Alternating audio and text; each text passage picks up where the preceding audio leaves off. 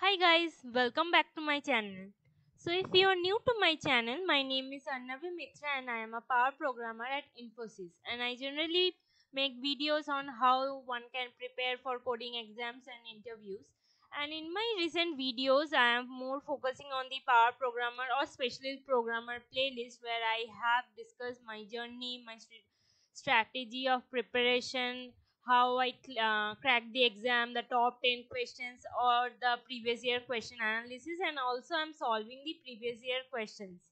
So, other than that, I have prepared top 50 questions that will be helpful uh, to the one who are prepared for the uh, specialist programmer uh, for this this uh, exam so this is going to be a very short video. So before starting i would like to say that i have also one telegram group where i give a question every day to solve.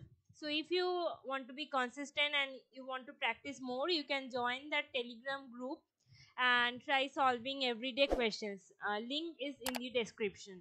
So uh, and here i have prepared one um, uh, one specialist programmer preparation sheet uh, it has 50 questions. So it's not for the one who is at beginner level or who is learning but the one who has decent knowledge of coding and trying to practice before the exam. So he or she can start uh, solving this sheet. I have mainly taken question from mathematics um, number theory dp uh, greedy algorithm graph so in the my recent analysis i found that all the questions are mainly from this kind of topics. So i have added only those type of uh, questions.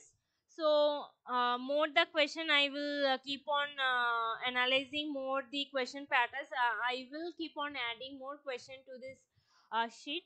Currently it has only 50 questions. So for all those who are uh, preparing uh, for this exam i would suggest you must solve this 50 question at least. And other than that i have also um, suggested some topics in my another videos. You can uh, learn from there.